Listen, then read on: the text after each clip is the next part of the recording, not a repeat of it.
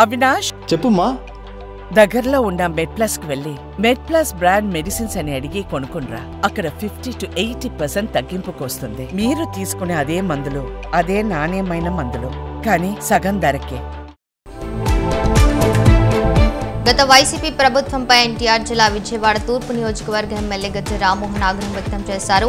జగన్ దళితుల sub plan పథకాన్ని పక్కన పెట్టి నిర్వీర్యం చేశారని విమర్శించారు.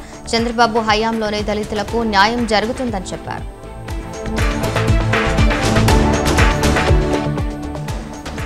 నిజామాబాద్ జిల్లా నవీపేట ప్రాథమిక ఆరోగ్య కేంద్రం ప్రహారీగూడ నిర్మాణానికి ఎమ్మెల్యే సుదర్శన్ రెడ్డి పూజ చేశారు. అనంతరం ఆసుపత్రి కలియ తిరిగిన రోగులకు అధునాతన వైద్యం అందించాలని ఆరా తీశారు. ఆసుపత్రిలో సౌకర్యాలపై అధికారులను అడిగి తెలుసుకున్నారు. వైద్య సిబ్బంది సమయపాలన పాటించి రోగులకు మెరుగైన వైద్యం అందించాలని ఆదేశించారు. అనంతరం తడ్గం శివార్లో పలు అభివృద్ధి కార్యక్రమాలకు భూమి పూజ చేసి ప్రారంభించారు.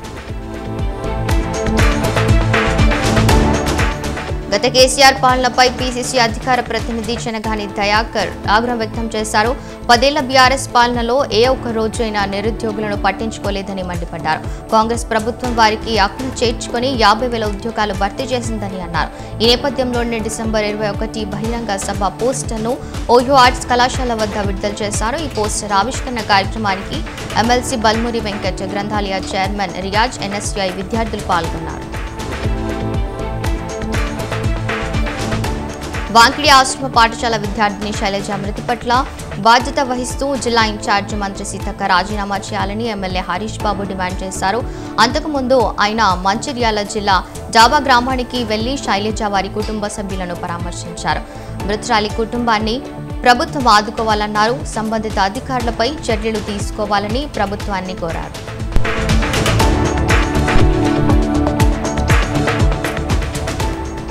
డెబ్బై డెబ్బై ఐదేళ్ళు భారతదేశ రాజ్యాంగం సామాన్యులకు రక్షణ గోడగా తోడు నీడగా నిలిచిందని సామాజిక న్యాయ సాధన సమితి అధ్యక్షులు డాక్టర్ భానుమతి అన్నారు.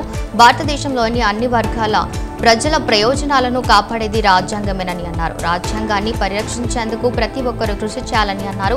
భారత రాజ్యాంగం డెబ్బై ఐదవ వసంతోత్సవం మంగళవారం నాడు కాకినాడ ఇంద్రపాలెం అంబేద్కర్ కాసిం విగ్రహం వద్ద ఘనంగా జరిగింది. దీనికి ఎన్టీఆర్ హెల్త్ యూనివర్సిటీ మాజీ వైస్ ఛాన్సలర్ డాక్టర్ బాబ్జీ సామాజిక న్యాయ సాధిక సాధన సమితి అధ్యక్షురాలు హాజరయ్యారు. ఏపీ కూటమి ప్రభుత్వంపై Nandikotkur YCP party incharge doctor Dhara Sudheer ఆగ్రహం వ్యక్తం చేశారు. రాష్ట్రంలో ప్రతి ఎమ్మెల్యేకు ఇసుక మద్యం షాపుల్లో ముప్పై శాతం వాటా వస్తుందని ఆరోపించారు. అంతకుముందు ఆయన భారత రాజ్యాంగ డెబ్బై ఐదవ అవతరణ దినోత్సవం సందర్భంగా స్థానికంగా ఉన్న అంబేద్కర్ విగ్రహానికి పూలమాలలు వేసి నివాళులర్పించారు.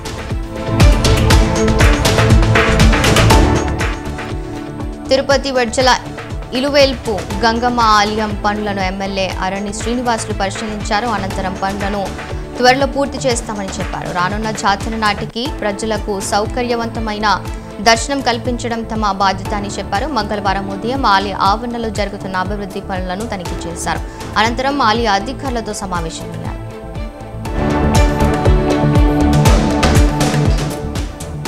రైతుల సంక్షేమం కోసం కేంద్ర రాష్ట్ర ప్రభుత్వాలు మరెంతో కృషి చేయాల్సిన అవసరం ఎంతైనా ఉందని హైకోర్టు రిటైర్డ్ జడ్జి చంద్రకుమార్ అన్నారు. మంగళవారం నాడు ఆయన మంచిర్యాల జిల్లా జన్నారం మండలం మందపల్లిలో రైతులతో సమావేశం నిర్వహించారు. ప్రభుత్వాలు రైతు సంక్షేమాన్ని విస్మరించాయని దేశానికి అన్నం పెట్టే అన్నదాతలను పట్టించుకోకపోవడం దారుణమని విమర్శించారు.